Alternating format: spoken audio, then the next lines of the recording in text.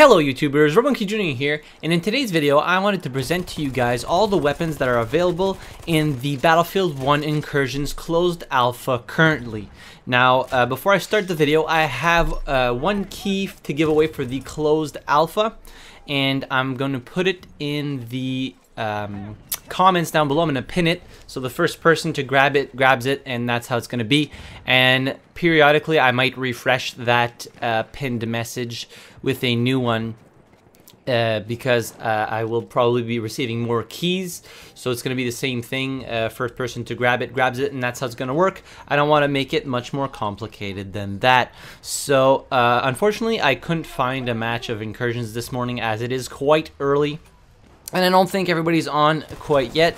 And also, uh, there is no way outside of a game to actually swap your weapons out, but I do know which weapons uh, can be used by what class. So uh, we're to get the video started right away. So for the Battle Mechanic class, you have the choice between the Frommer Stop for primary weapons, which is obviously the uh, automatic pistol, or the Pieper M1893, which is a kind of pistol type carbine. So those are the two primary weapons available for the Battle Mechanic. Now as for the secondary weapons for the Battle Mechanic, you have the choice between the uh, Howdah pistol, which is this four shot hand cannon, and the MLE 1903. Moving on to the squad leaders. Now there are two different squad leader uh, classes available. The first one is called control leader. The first primary weapon available to the control leader is the auto loading 8.35 factory.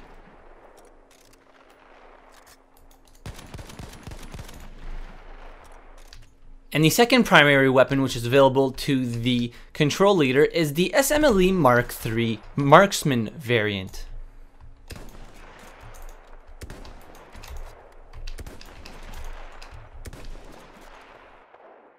As for the secondary weapons, he has access to the MLE 1903.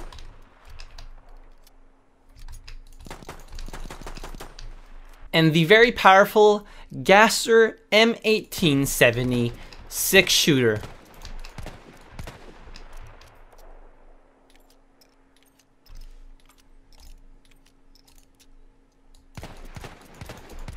Moving on to the second class available for the squad leader, he is called the raid leader, and he is basically the close quarter uh, class of the two squad leaders. So he has access to the Hellriegel 1915 factory,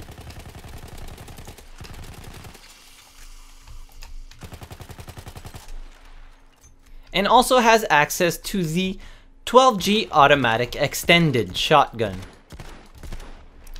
which in the first iteration of the closed alpha was is the Sjogren inertial shotgun, which is uh, the shotgun that was released with the They Shall Not Pass DLC. As for secondary weapons, he also has access to the MLE 1903, like the previous class, or the six shooter which is available to the support class in the vanilla game known as the Bulldog Revolver.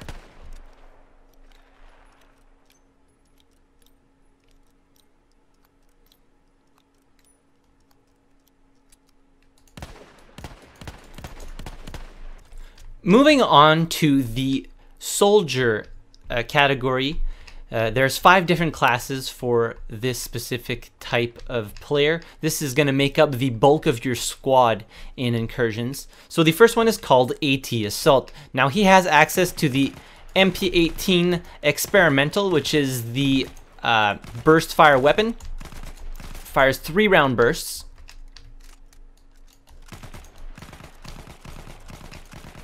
or the M1907 Sweeper SL or SL Sweeper, which is the uh, automatic SLR, which is available to the medic class in the vanilla game.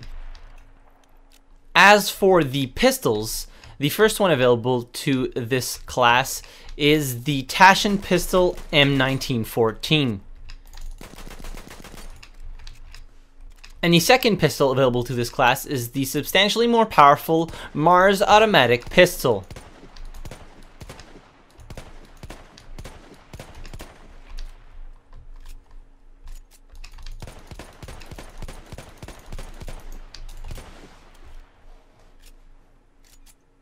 Now the next class is called the Shock Assault, and the weapons available to him are, as primaries, are the Bar M1918 Trench,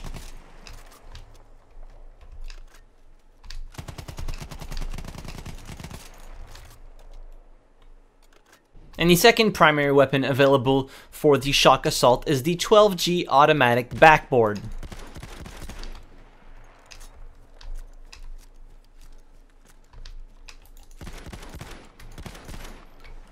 The first secondary available for the Shock Assault is the MLE 1903.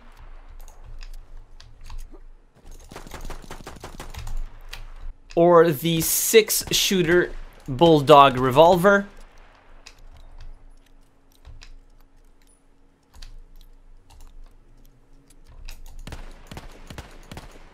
The next class in this category is called the Trench Surgeon, which is pretty much a must pick. Now, the Trench Surgeon's first primary weapon is one of my personal favorites, the Automatic 8.25 Extended.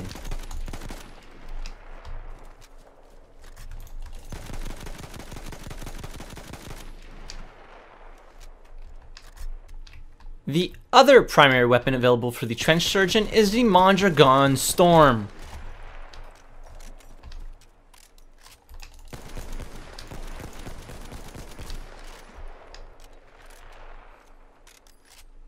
The first secondary available for the trench surgeon is the P08 pistol.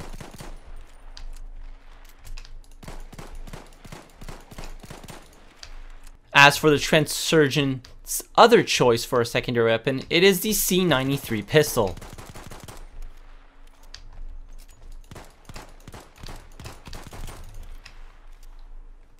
Moving on to the next class, which is the mortar support. Now the first weapon available for the mortar support is the MG15NA Suppressive.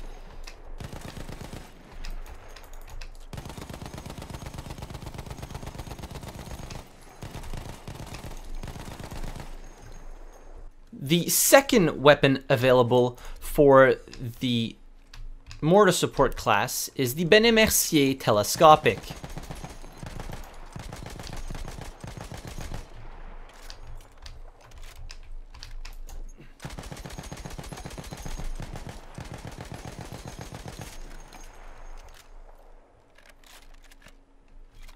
The first secondary weapon available for the mortar support is one of the coolest pistols in the game, the Repeater Pistol M1912.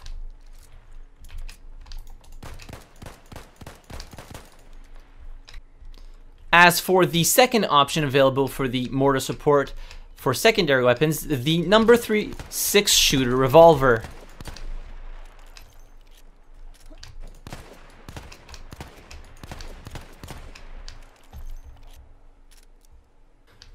Moving on to the final class available in the soldier category, the Proximity Recon. The first weapon available for this class is the MP-18 Trench.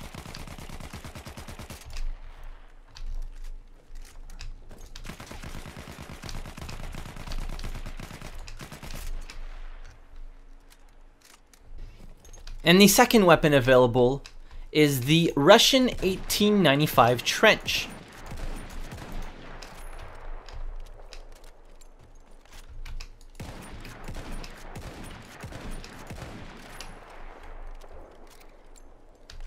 And finally, the secondary weapons available for the proximity recon is the Frommer Stop, which is a personal favorite of mine when playing Scout, and the Bodeo 1889.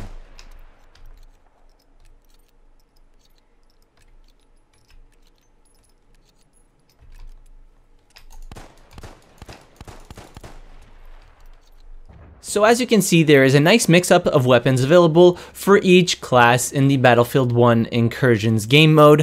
Uh, it's not very specific as to what type of weapon or what class of weapons you can use. For example, you can have a SLR and a sniper available in the same class. Now, all these weapon choices are very much subject to change as the Battlefield 1 Incursions game mode is still in closed alpha.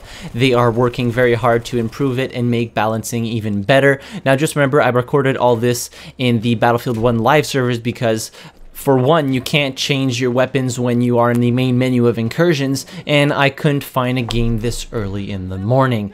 Now, the weapons in the Battlefield 1 Incursions Closed Alpha have the new and improved time to kill changes coming to Battlefield 1. Uh, so, like, the SMGs do more damage, the the LMGs do more damage, so all those are already changed, and the SLRs have already received their accuracy buff that is also coming to the Battlefield 1 live servers. And also something to take note of is that they are customizable the same way as they are in the live servers. So you can change the uh, magnification of the zoom, you can change the bayonet or not, you can change the uh, recoil direction, so left, right, or center, and you can also change the sights on all the weapons. So uh, it's pretty much the same type of customization available in the live servers. And also, I didn't cover the gadgets available uh, to the different classes in this video as the video would have been too long and I, of course, didn't find a server to join and I couldn't change my gadgets whatsoever and I actually wanted to show you guys the gadgets in uh, the actual game itself, using them and all that stuff. So let me know in the comments down below if you guys have uh, had the chance to play the Battlefield Closed Alpha for incursions. And also don't forget to pick up that uh, closed alpha incursions key in the pinned comment, which is going to be uh, refreshed once I get more keys. So first come, first serve. And uh, while you're down there, be sure to the like button if you enjoyed the video. Subscribe to the channel if you haven't already. Don't forget to hit that notify bell. And as always, thank you very much for watching. I really appreciate it. And I'll see you guys in the next video. Have a good one.